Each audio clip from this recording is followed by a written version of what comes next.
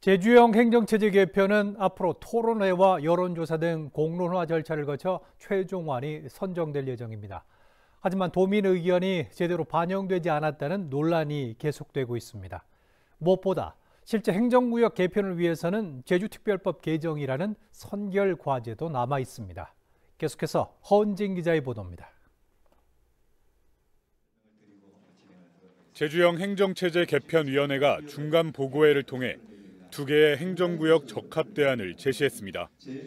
제주도는 적합 대안을 비롯한 각종 구역안을 두고 전문가 토론회와 도민 경청회, 여론조사, 2030 청년 포럼 등을 실시하고 그 결과를 도민 참여단에 전달하게 됩니다. 도민 참여단은 오는 11월 이틀간의 수기 토론회를 거쳐 행정체제와 행정구역을 선정하게 되고 행정체제 개편위원회는 이 같은 내용을 두고 연말까지 주민투표 실행 방안과 개편 권고안을 제시할 계획입니다.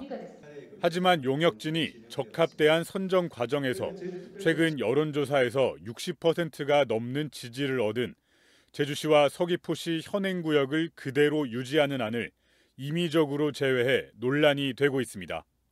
기본적으로 개편을 하자라고 어, 검토를 한다라는 것은 현재와 다른 어떤 형태를 어, 고민을 하는 겁니다. 그러니까 현재 거는 그 대안의 범죄에 포함되지 않는다는 것이고 이 같은 적합 대안 선정에 벌써부터 우려의 목소리가 나왔습니다.